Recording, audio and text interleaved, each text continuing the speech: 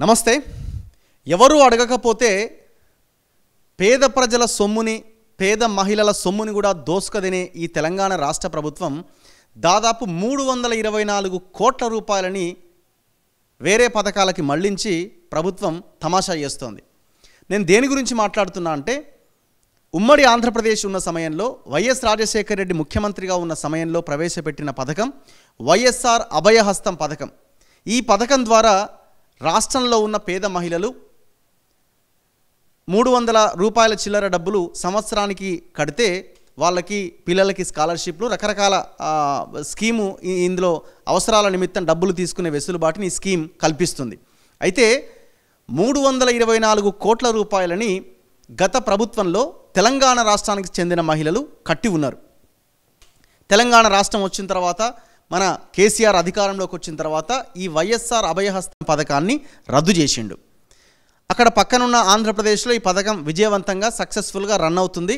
మన ప్రభుత్వం మాత్రం ఇది వైఎస్ఆర్ పేరుతో ఉంది వైఎస్ఆర్ అభయహస్తం అని ఆ పథకాన్ని రద్దు చేసిరు మరి ఈ పేద ప్రజలు ముఖ్యంగా పేద మహిళలు కట్టిన ఈ మూడు వందల ఇరవై నాలుగు కోట్ల రూపాయలని తిరిగి వాళ్ళకి చెల్లించాలి కదా? వాళ్ళు కట్టిన ప్రీమియం కదా? చెల్లించిర్రా అంటే ఇంతవరకు ఆ మూడు వందల ఇరవై నాలుగు కోట్ల రూపాయలు చెల్లించకుండా సొంత అవసరాల కోసం వాడుకున్నారు. ఎంత దుర్మార్గమో చూడండి. అయితే ఇది ఇది మాట్లాడకపోతే ఇంకంతే సంగతి. పాపం పేద మహిళలు వాళ్ళు అడగలేరు. ఇట్లా రాష్ట్రంలో ఉన్న లక్షలాది మంది మహిళలు కట్టిన డబ్బులతోని రాష్ట్ర ప్రభుత్వం ఆ డబ్బులను ఖర్చు పెట్టుకుంది. ఈ నేపథ్యంలో గవినోళ్ళ శ్రీనివాస్ అనే సామాజిక కార్యకర్త మాజీ సర్పంచ్ నారాయణపేట నియోజకవర్గం అనేది ఆర్టీఐ కింద సమాచారం అడిగిండు. మీరు స్క్రీన్లో చూడొచ్చు క్లియర్గా. ఆర్టీఐ కింద ఏమని సమాచారం అడిగిర్రు? తెలంగాణ రాష్ట్రం ఏర్పడ్డ తర్వాత తెలంగాణలో వైఎస్ఆర్ అభయహస్తం పథకాన్ని రద్దు చేశారు. కానీ రద్దు చేసిన తర్వాత రాష్ట్ర వ్యాప్తంగా ఇరవై ఒక్క లక్షల ఎనభై నాలుగు వేల మూడు వందల తొంభై ఒక్క మంది మహిళా సభ్యులకు వారు చెల్లించాల్సిన డబ్బులు చెల్లించిన డబ్బులు మూడు వందల ఇరవై ఐదు కోట్ల నలభై ఐదు లక్షల ఇరవై నాలుగు వేల ఆరు వందల ఇరవై రూపాయలను తిరిగి చెల్లించలేదు కాబట్టి అట్టి డబ్బులు చెల్లించడం గురించి అని ఆర్టీఐ కింద ఇన్ఫర్మేషన్ అడిగిండు. ఇన్ఫర్మేషన్ అడిగితే చాలా క్లియర్గా ఇన్ఫర్మేషన్ ఆర్టీఐ కింద వచ్చింది. ఏమనిచ్చిరంటే ఈయన అడిగిన ప్రశ్నలు తెలంగాణ రాష్ట్రంలోని అన్ని జిల్లాల్లో వైఎస్ఆర్ అభయహస్తం పథకం కింద గతంలో ఎంతమంది మహిళలు సభ్యత్వం తీసుకున్నారంటే ఇరవై ఒక్క లక్షల ఎనభై నాలుగు వేల మూడు వందల తొంభై ఒక్క మందని జవాబొచ్చింది. జవాబు వచ్చింది తెలంగాణ జిల్లాలో వైఎస్ఆర్ అభయహస్తం పథకం కింద సభ్యుల నుంచి ఎంత డబ్బు వసూలు చేశారంటే మూడు వందల ఇరవై ఐదు కోట్ల నలభై ఐదు లక్షల ఇరవై నాలుగు వేల ఆరు వందల ఇరవై అని సమాధానం వచ్చింది. మరి మొత్తం చెల్లించిరా అంటే చెల్లించలేదు అన్నారు. మరి మహిళా సభ్యుల సంఖ్య వారు చెల్లించిన వివరాలు జిల్లాల వారీగా మండలాల వారీగా గ్రామాల వారీగా ఇవ్వండి అంటే దీనికి నూట ఎనభై మూడు పేజీలు ఉంది.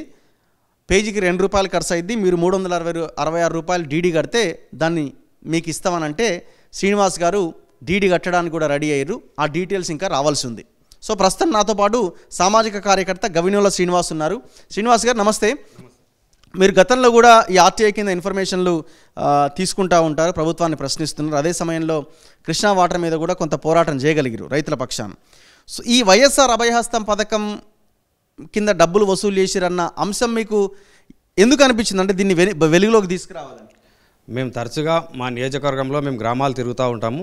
అక్కడ గ్రామాలు తిరుగుతున్నప్పుడు కొంతమంది పేద మహిళలు కానీ అక్కడ మా దృష్టికి సమస్య తీసుకొచ్చినారు. ఇక్కడ వైఎస్ఆర్ అభయస్థ పథకం అనే ఒక స్కీమ్ ఉండే. దాని కింద మేము డబ్బులు కట్టినాము. ఇంతవరకు మాకు డబ్బులు తిరిగి రాలేదంటే అట్టి వివరాల్ని మా జిల్లా కేంద్రంలో ఉన్నటువంటి ఐకేపీ అధికారులను సంప్రదించగా వాళ్ళు ఈ విధమైనటువంటి సమాచారం తీసుకుంటే తెలుస్తుందని చెప్పేసినారు. మేము అక్కడ అనుమానం వచ్చి సమాచార చట్టం కింద శిల్పాధికారులకు పెట్టినాము. వాళ్ళు సమాచారం ప్రకారం ఇరవై ఒక లక్షల మంది మహిళలు మొత్తం రాష్ట్ర వ్యాప్తంగా మూడు వందల ఇరవై ఐదు కోట్ల రూపాయల డబ్బులు చెల్లించినారు. కాబట్టి ఆ డబ్బులంతా కూడా ప్రభుత్వం దగ్గర ఉన్నాయా? మరి ఎల్ఐసి దగ్గర ఉన్నాయో తెలియదు. కాబట్టి మేమంతా ఈ సమాచార చట్టం ద్వారా సేకరించి తిరిగి ఆ పేద ప్రజల డబ్బులు ఇవ్వాల్సిందిగా గౌరవ ముఖ్యమంత్రి గారికి మేము లేఖ రాయడం జరిగింది.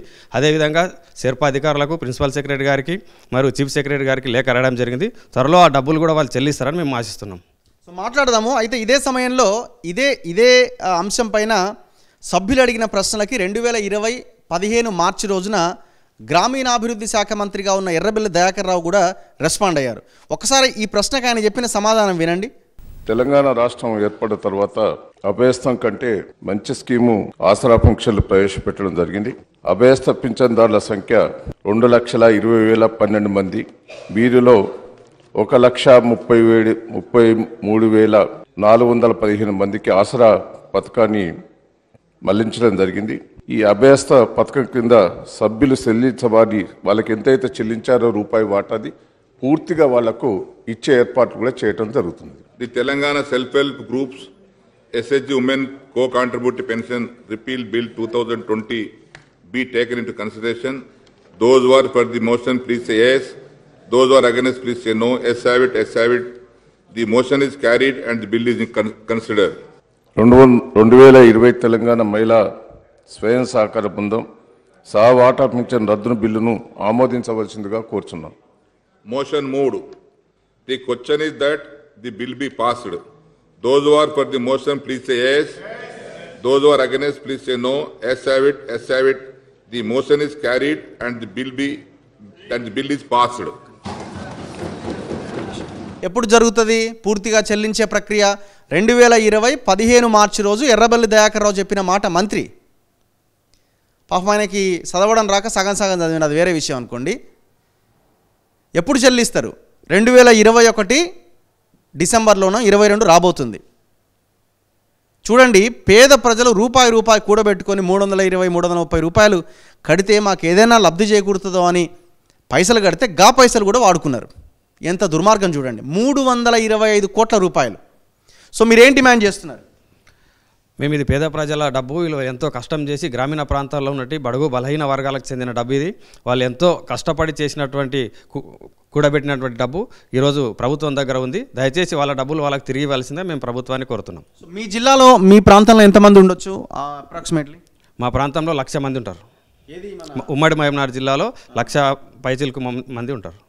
రాష్ట్ర వ్యాప్తంగా ఇరవై ఒక్క లక్ష మంది అంటే మా నారాయణపేట నియోజకవర్గంలోనే ముప్పై రెండు వేల మంది ఉన్నారని అధికారుల ద్వారా లెక్కలు తీసుకున్నాం.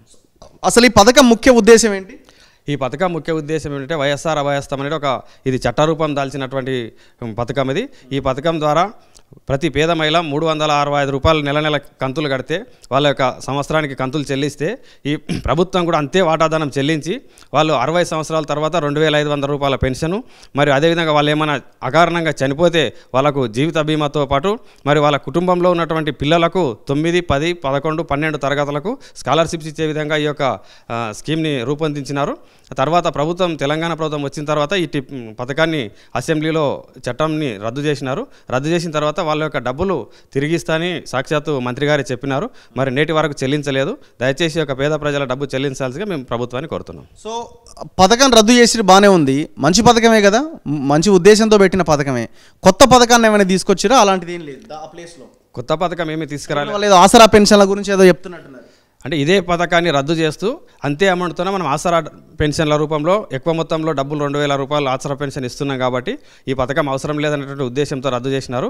అయినప్పటికీ కూడా రద్దు చేసిన ఆసరా పెన్షన్లు ఇస్తున్నప్పటికీ వాళ్ళ డబ్బు అయితే మూడు వందల ఇరవై ఐదు కోట్లు ఇవ్వాల్సిందిగా మేము కోరుతా ఉన్నాం. ఇప్పుడు ఆసరా పెన్షన్లు అయితే అందరికీ రావు కదా? ఇప్పుడు ఈ అభయహస్తం ఓన్లీ అరవై ఏళ్ళు దాటిన పైన వాళ్ళకేనా? అభయస్థం అనేది అరవై ఏళ్ళు దాటిన పై వారికి.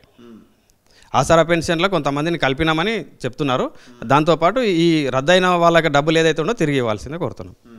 సో ఇట్లా రాష్ట్రం అంతా ఇరవై ఒక్క లక్షల మంది ఉన్నారు. మరి ఈ ఇష్యూ ఎప్పుడు ఏ ప్రతిపక్షాలు కూడా టేకప్ చేయలేదా? ఎవరు టేకప్ లేదు ఎవరి దృష్టికి కూడా రాలేదు అనుకుంటా మేము. మేము గ్రామాల్లో తిరుగుతున్నప్పుడు ప్రజలు మా దృష్టికి తీసుకొస్తే మేము దాన్ని సమాచార చట్టం ద్వారా తీసుకొచ్చి ప్రభుత్వం దృష్టికి తీసుకుపోయినాం. సో ఇప్పుడు ఆసరా పెన్షన్ల ద్వారానే అంటే మీరు జనాల్లో తిరుగుతున్నారు కాబట్టి అడుగుతున్నా ఆసరా పెన్షన్ల ద్వారానే ఈ పథకాలు లేకపోయినా ఎలాంటి ఇబ్బంది లేదని అనిపిస్తుందా మీకు? జనాల నుంచి వస్తున్న రిప్లై ఏంటి?